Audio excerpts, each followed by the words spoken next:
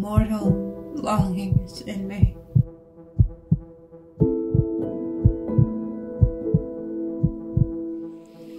I have possessed your grace of what I purpose, and by your holy Sabbath have I sworn to have the due and forfeit of my bond. If you deny it, let the danger light upon your charter and your city's freedom. You'll ask me why I rather choose to have a weight of carrion flesh than to receive 3,000 ducats. I'll not answer that. Say, it is my humor. Is it answered?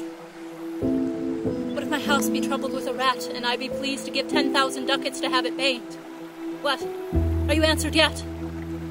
Some men love not a gaping pig, some that are mad if they behold a cat, and others when the bagpipe sings i' the nose, cannot contain their urine. For affection, mistress of passion, sways it to the mood of what it likes or loathes.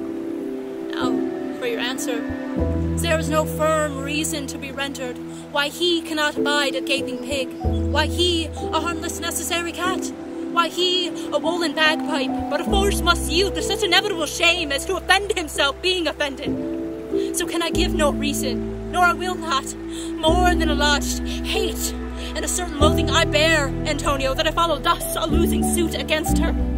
Are you answered?